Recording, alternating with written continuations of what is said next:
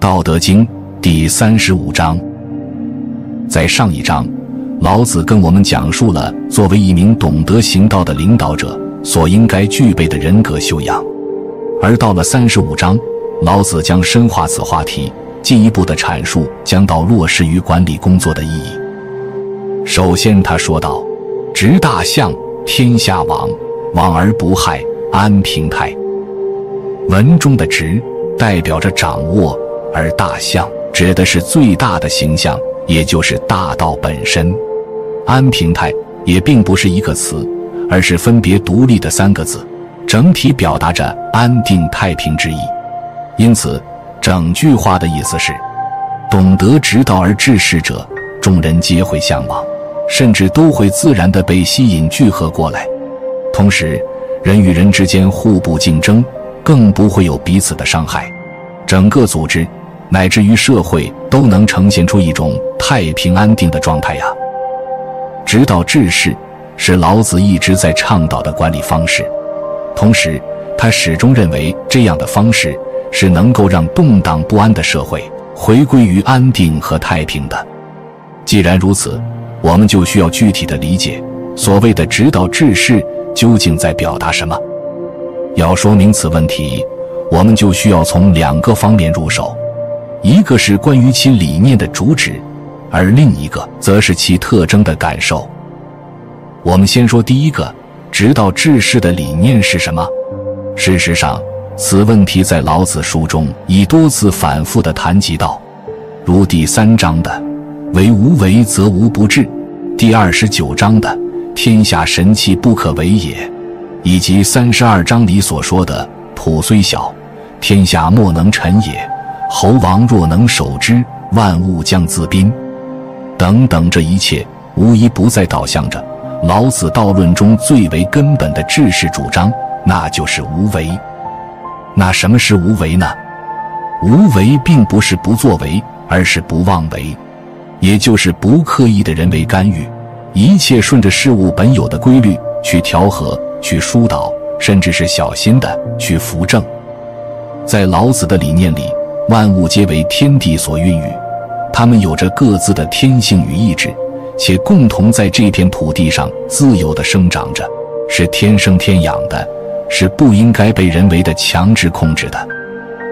因此，能够直道治世、顺道而为的智者，他们懂得尊重道之规律，懂得尊重人性，他们会小心且细心地呵护着自己的组织。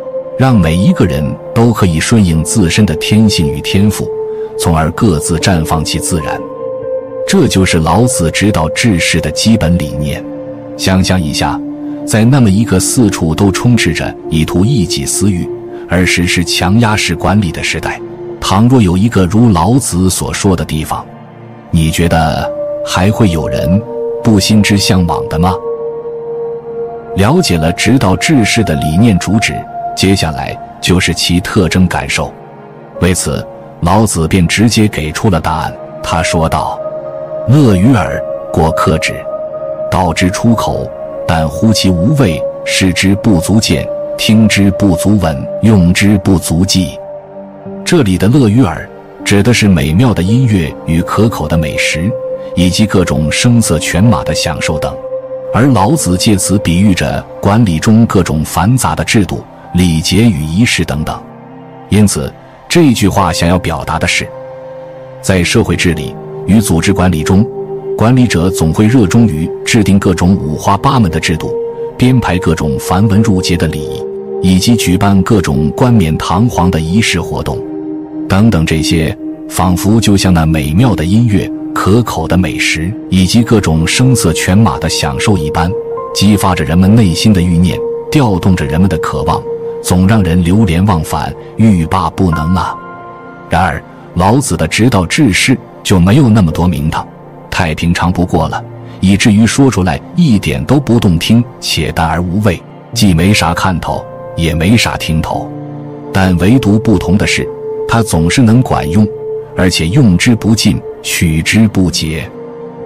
老子通过对比的方式，直观地描述出了有为与无为的特征差异。事实上，其道理也是明显的。既然是有为，是刻意的，那就必然有东西可见、可听与可感。相反之，既然是无为，是顺其自然的，那也就意味着是常态化的，是潜移默化的渗透在点滴之中的，那也就自然淡而无味，没看头也没听头了。